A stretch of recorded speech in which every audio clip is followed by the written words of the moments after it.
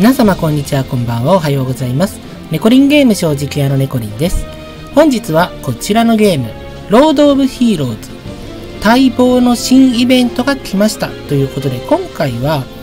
新イベントの概要、そして新イベントの効率の良い周回方法、討伐方法、交換した方がいいアイテムなどなどを説明していきたいと思いますので、解説もします。よろしくお願いいたします。ということで早速なんですけれども、新イベントの方を見ていきたいと思います。今左側の方に出ていますね。幻想種出現イベント D の12って書いてあるんですが、こちらをまず見てもらいたいと思います。幻想種ミョミック出現ということで、シャープ、ゴールド獲得、シャープ、地属性英雄が集中成長っていう風に書いてありますよね。まあ私も結構回ったんですけど、今まだ3回しか出会えていないんですけども、まずこれがどんなイベントなのかということを説明したいと思います。まあ、出現イベント期間中、今回の期間中ですね、シナリオ電動ステージ2ラウンドから一定期間で現れるという、まあ、特別なモンスターというか相手が出てくるという風になってます。もちろんクリア済みでも出ますよっていうことなんですが、この幻想種を討伐した場合に、幻想の討伐の証というものが獲得できるようになります。これなんですけども、いろんな属性がいます。もちろん火、水、地、闇、光ってあるんですけれども、まあ、光と闇は他の属性に比べて討伐の証が多くもらえます。まあ、例えばなんですけれども、普通に他の属性倒した場合、討伐の証10もらえるんですけども、光と闇については15もらえるということで、5討伐の証が多くもらえるようになってますので、もちろんこの光と闇を多く倒した方がいいです。ただ、敵の属性はランダムで出てきますので、そこは運があると思います。で、この討伐の証は欲しい商品と交換できるんですよ。この特別ショップっていうものも期間限定でもらえますので、こちらもチェックをしてみたいと思います。まあ、5月19日までということなので、あと約2週間ありますよね。こちら、特別ショップ押してもらうとわかるんですが、もらえるものはゴールドから経験の赤、ケーラ、そして名声、精霊石、それぞれのルーンがもらえるようになってます。まあ、先ほどシャープで書いてあったように、地属性の育成っていう風に書いてあったと思うんですが、地のルーンがもらえる絶好の機会となっています。地といえば、まあ、無課金の方でもよく使えるキャラクター多いですよね。めちゃくちゃ強い地のシャーロットだったりとか、もうあの最強キャラの地のラフラス。そういった地属性を育成する良い機会となってますので、ぜひとも地のルーン、これは絶対にゲットしましょう。そして、未知の精霊石。この未知の精霊石もね、スキルを上げるためには絶対必要になりますので、スキルレベルを上げるためにはこの未知の精霊石の優先度は高いです。そして、毎日リセットするこちら経験のかけら20個もらえるんですけれども、これも毎日リセットありますので、皆さん忘れずに必ず毎日交換をするようにしてください。これを忘れるだけでかけら20個損してしまいます。たった5ポイントで手に入りますので、ミオミックを1体倒したうちの半分の討伐、光と闇だったら3分の1使えばゲットできますので、こちらも絶対取るようにしてください。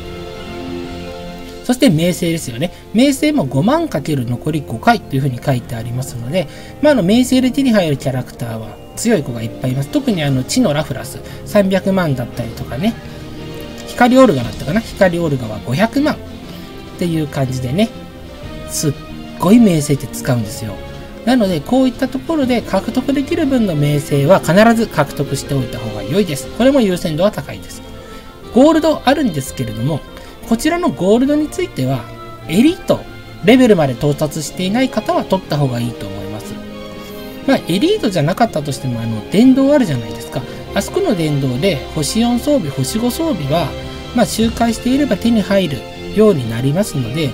エリートまたは星5装備、星4装備を安定して手に入ることができる人は、正直このゴールドは後回しでいいと思います。なぜなら星4装備、星5装備、いらないやつ売るだけでも結構ゴールドって手に入りますので、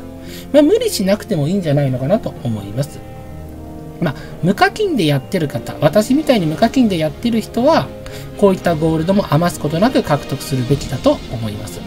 あと一番いいのこのクリスタルですよね。クリスタル1000個がたった300。たった300って言いましたが、結構、出現率から考えると厳しいんですけども、300でクリスタル1000が手に入りますので、クリスタルは装備ガチャにも使いますし、キャラクター解放にも使いますので、こちらもめちゃくちゃ優先度は高いです。まあ、ただ絶対手に入れたいのは精霊石。そして、この経験のかけらを毎日獲得する。あと、名声ぐらいかなと思いますので、それらを考慮に皆さんも参考に優先順位を決めていただけたらなと思います。ちなみにミョミックなんですけれども、こんな形をしています。まあ、宝箱ですよね。まあ、宝箱といえば日本のゲームでよく出てくるのミミックっていうのあると思います。まあ、ミミックってね、ゲームによっては手足が生えてくるものだったり、箱の中に宝箱に目がついたりってあると思うんですが、今回は猫の耳がちょろんと出てるのが、あの、プレイ中出てくるんですよ。猫の耳が入ってるので、もしかしたら、猫が中に入ってる？しかもお金ザックザクっていうことで、なんかよくわかんない可愛い存在のキャラクターとなってます。しかもこのミョミックと戦った時にあの専用の BGM が流れますので、これもめちゃくちゃ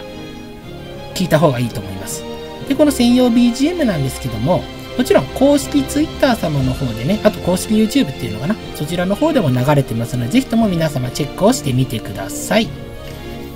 で、実際にミョミックなんですけれども、行動パターンが一応あります。ミョミックは、自身に自虐ダメージとかをね、付与するんですよ。自身っていうのはあくまでミョミック自身なんですけれども。なので、例えば相手の速度を下げたりするようなキャラクターですよね。まあ、オルガだったりとか、非女子話だったり、相手の行動ゲージとかね、減らしたりするキャラクターを使ってしまうと、ミョミックの行動パターンがね、ちょっと遅くなっちゃうんですよ。なので自虐ダメージを入れる機会が遅くなってしまうので、できればそういった速度計にかかるデバフは使わない方が個人的には討伐速度は上がると思います。で、こっから重要なんですが、実際にワールド見てもらうと分かる通り、難易度はノーマル、ハード、エリートってありますよね。で、エリートまであるんですけども、このミョミックなんですけれども、ミョミックかな？なんですけれども、ノーマルが一番弱い。そして、ハード、エリートと上がるにつれて、HP の強さも変わってきます。エリートになると、例えば HP15 万ぐらいのミョミックも出てきたりしますし、ハードだとま7万から8万、9万ぐらい。これぐらいのミョミックが出てきます。ノーマルだともっともっと低いです。なので、まこのイベント一応2週間あるんですけど、ガンガンガンガン進めたいなっていう人はノーマルを進めるべきだと思います。で、これおすすめポイントなんですけれども、ラウンド2で出るんですよ。で、ミョーミックを討伐した後、撤退することによって、スタミナは消費するんですけども、ラウンド3を戦うことなく、討伐の証をゲットすることが可能です。一応まあ小ネタになるのかな。ただその場合、ゴールドとか装備品、まあドロップアイテム、そして経験値、これらは入らないのが注意が必要になります。なので、イベントをガンガンガンガン進めたい人はノーマル。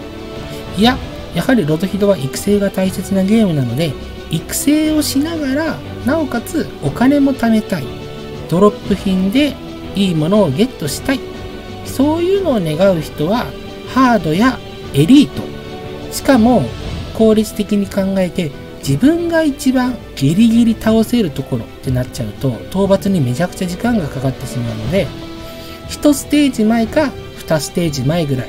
それなりの速度で倒せる高難易度のミョーミックを倒しながら育成を同時に進めていくっていうのが個人的にはお勧めしたい方法です。まあ、韓国の方がね、今1位を取られて100体っていう風になってるんですけれども、大体体感ですが、ミョーミックは10回のうち1回出るかどうかっていうのが私の体感の確率です。なので、スタミナ換算すると、スタミナを3000使えば1回出てくるかどうかなっていうような形になります。スタミナって、このロード・オブ・ヒーローズ、かなり重要じゃないですか。もらえる数が結構限られてる。アイテムを使ってのスタミナ回復ができない。石を割ることができないっていう感じのゲームになってますので、スタミナをガンガン消費したい場合は、例えば火曜日シナリオの20%スタミナ消費量軽減ああいった時とかに合わせて使うのがベストだと思いますあくまでスタミナの消費が減ってる時はノーマルでガンガン回す。それ以外は育成も含めての高難易度を回すっていうのが個人的にはおすすめです。特にエンドコンテンツのねオベリスクめちゃくちゃ強いのでオベリスクだとなかなか勝てない。育成が重要になると思いますので検討してみてください。最後になんですが左下伝送種の情報出現頻度普通って書いてあると思います。こちらね出現頻度が変わりますのでガンガンガンガンノーマルを進めたいなっていうことはこの出現頻度が高い時にやるのもおすすめになりますまあいろいろねどうやったらいいんだろうどこが周回いいのかなってあると思いますが皆さんの育成の難易度というか方法によって変わるっていうところをぜひとも考えていただけたらと思いますスタミナに余裕がある人はノーマルをがっつり回しましょうタミナに余裕がない育成もしたいという人はハードまたはエリートをがっつりと回しましょう。私はね育成が進んでないしまだ期間はありますのでスタミナ軽減が入った時はノーマル。それ以外はエリートで回していこうと思います。ということで今回はこの新イベントミョーミック討伐について解説していましたがいかがでしたでしょうか？参考にしていただけたらと思います。まあ、出現率かなり低いのでね、気長にやっていきましょう。今後もロード・オブ・ヒーローズ、ロゾヒロの配信、そして動画、どんどん撮っていきたいと思いますので、皆様ぜひともよろしくお願いいたします。それでは今回はここまでです。ご視聴ありがとうございました。よ